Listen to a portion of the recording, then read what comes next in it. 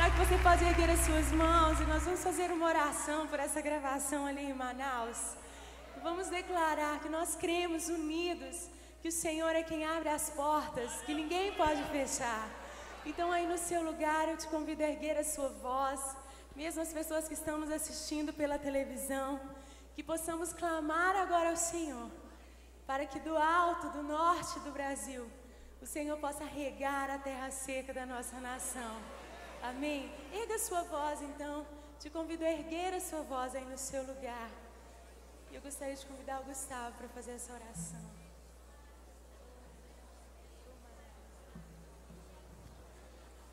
Oh, Pai, nós sabemos que a porta que o Senhor abre, ninguém, ninguém pode fechar. Sabemos que o Senhor é aquele que prepara caminhos. O Senhor é poderoso até mesmo para abrir rios no deserto, caminhos no ermo. Para o Senhor não há impossíveis.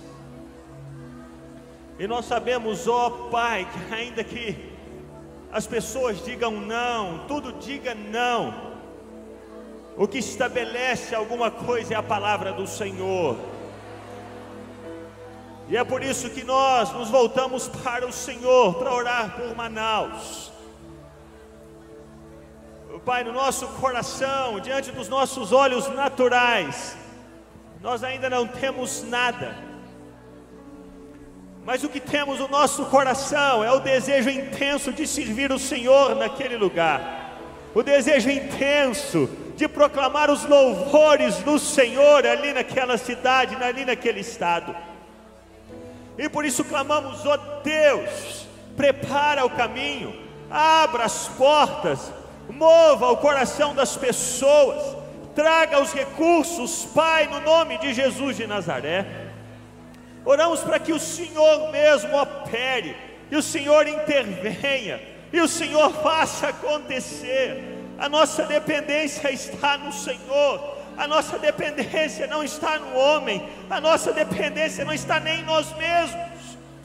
Nós dependemos do Senhor, oramos ao Senhor, clamamos ao Senhor, para que o Senhor faça, para que o Senhor abra as portas, para que o Senhor traga os recursos, para que o Senhor traga as liberações. Oh Deus, oh Deus, o nosso clamor é ao Senhor.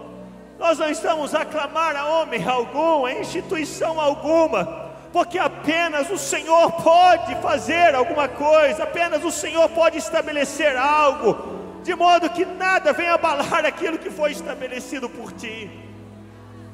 A nossa esperança está no Senhor, o nosso coração, nós o colocamos diante do Senhor. Oramos para que o Senhor abra as portas de Manaus, que o Senhor prepare o caminho até Manaus, para que essa gravação aconteça ali, ó oh Deus, nosso coração, ele tem sido inclinado para aquele lugar, as nossas orações têm sido feitas por aquele lugar. Oh Deus, voltamos ao Senhor, mova os corações envie os recursos. E que essa gravação aconteça ali, Pai. Apresentamos esse lugar ao Senhor, bem como as nossas intercessões ao Senhor, no nome de Jesus. Amém.